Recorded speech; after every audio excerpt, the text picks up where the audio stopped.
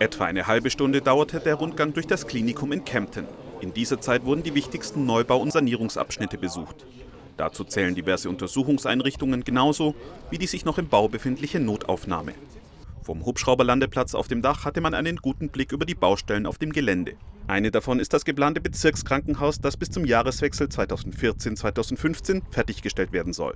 Die Bezirkskliniken Schwaben äh, haben ähm, Bedarf ähm, an Sanierung bzw. Neubau und Erweiterung ihrer Betten.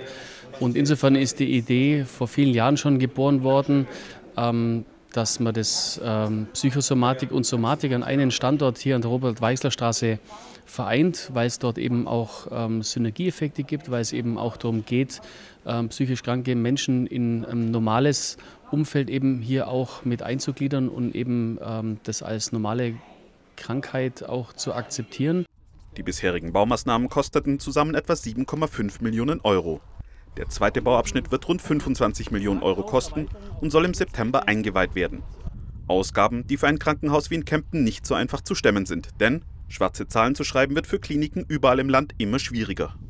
Ja, dass im Prinzip ähm, die gesetzlich vorgegebenen Erlössteigerungen mit den ebenfalls vorgegebenen Tarifsteigerungen zum Beispiel und den vorgegebenen Sachkostensteigerungen nicht in Einklang zu bringen sind, sondern dass hier eine permanente Unterfinanzierung äh, zwischen ähm, den Erlösen und den Personal- und Sachkosten entsteht, die wir dann eben immer wieder versuchen müssen, über Einsparungen auszugleichen. Und das hat man jetzt schon über viele Jahre, ich möchte sagen fast Jahrzehnte gemacht. Dessen ist sich auch der später hinzugestoßene Gesundheitsminister bewusst.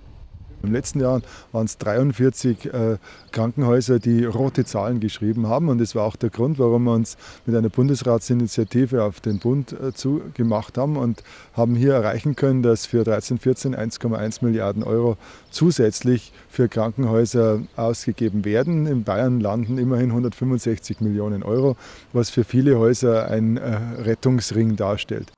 Damit es für viele Häuser weitergeht, dafür muss die Politik nach Ansicht Hubers nach der kommenden Wahl entsprechende Weichen stellen. Da sei vor allem Berlin in der Pflicht, so der Minister.